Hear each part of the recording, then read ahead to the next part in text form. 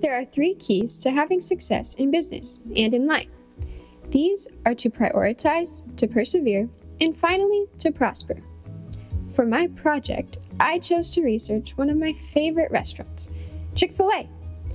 Chick fil A was founded by Truett Cathy, a man who not only talked of faith, but also walked his faith in every aspect of life. Without Mr. Cathy, Chick fil A wouldn't be the restaurant that we know and love today. In 1946, Truett and his brother Ben Cathy opened the Dwarf House.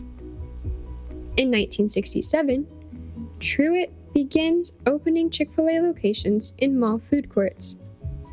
In 1982, Chick fil A's executive team pens its corporate purpose. In 1986, Chick fil A opens its first freestanding location. In 1995, the Eat More Chicken campaign launches, featuring the iconic cows. In 2013, Truett Cathy retires and his son Dan Cathy becomes CEO. In 2018, Chick fil A surpasses $10 billion in system wide sales. One of the most famous parts of Chick fil A is its iconic logo.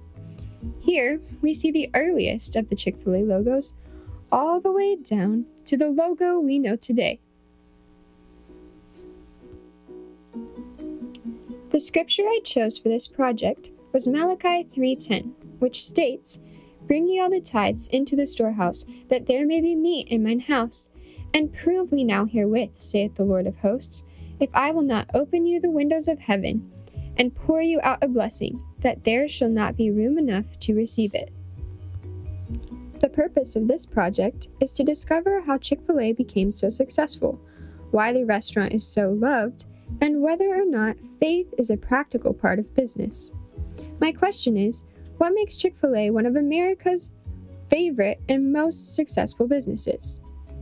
The answer I found to be that Chick fil A has chosen to apply biblical principles to every aspect of its business, and as a result, God has blessed the company by choosing to put Him first.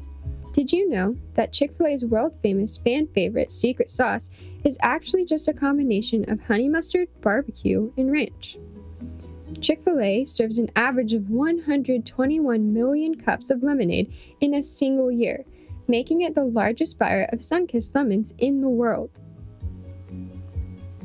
Chick fil A's secret chicken sandwich recipe is kept locked away in a vault at its headquarters in Atlanta. This is the same recipe penned by Truett Cathy himself many years ago. The first 100 customers at a new Chick fil A restaurant get free Chick fil A for an entire year.